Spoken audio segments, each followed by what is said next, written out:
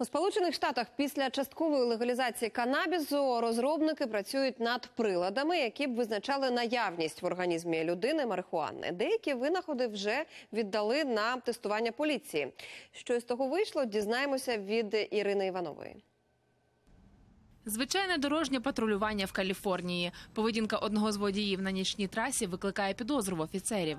Його перевіряють звичним алкотестером. Результат негативний. Чоловіка варто було б відпустити. Однак цього вечора в арсеналі поліцейських є ще один прилад, який вони застосовують у тестовому режимі.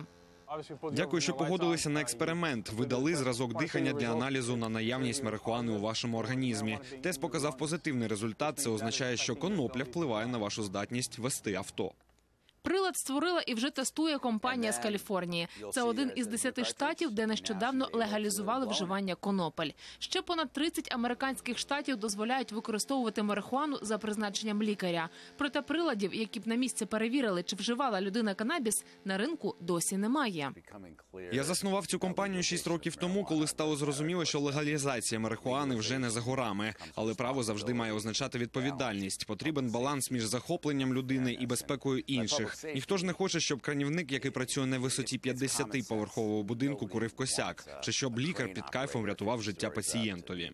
Такі прилади розробляють також у Пітсбургу, а ще в сусідній Канаді. Технологія для визначення наявності марихуани в легенях схожа на ту, яку застосовують у тестах на вагітність, а отже, перевірена часом. Проте цей аргумент не переконує противників легалізації марихуани. На їхню думку, такі прилади створювати марно.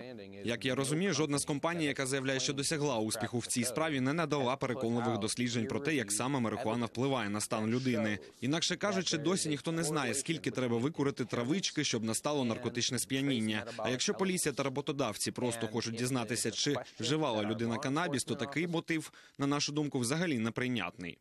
Попри критику, перші тестери для марихуани надійдуть у вільний продаж наступного року. Вони здатні за самим лише подухом людини визначити, чи вживала вона канабіс за останні кілька годин. Але чи стануть такі прилади обов'язковими в роботі дорожніх патрулів? Ще питання в американському законодавстві не прописано, який допустимий поріг наявності конопель в організмі людини. Тож поки що будь-який штраф можна буде оскаржити в суді.